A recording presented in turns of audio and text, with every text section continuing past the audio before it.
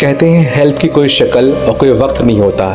इसी पहल को चालू रखते हुए हमारे शहर के ज़िला अध्यक्ष व्यापार मंडल के सुनील टंडन, साथ में प्रीतम सिंह, कमलेश पांडे, मोहम्मद सरवत खान, जो कि कंप्यूटर संस्थान चलाते हैं, सुभाष गुप्ता, इन सब लोगों ने समाज के कमज़ोर वर्ग को मोज़े बांटे कम्बल बांटे।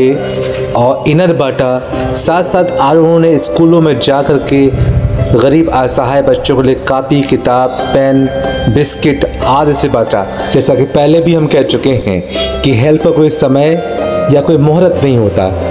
आज सुनील टंडन जी के पोते पोतियों का जन्मदिन था। तो इस अवसर पे आपने सोचा कि समाज से कुछ कमज़ोर वर्ग की इस तरीके से हेल्प की जाए, एक शैक्षिक हेल्प की जाए, ताकि बच्चों का उज्जवल भविष्य आगे बन सके। तो इस मौके पर चांदमारी स्कूल में जाकर स्वयं इन सभी लोगों ने समाज सेवी लोगों ने इस काम को अंजाम दिया।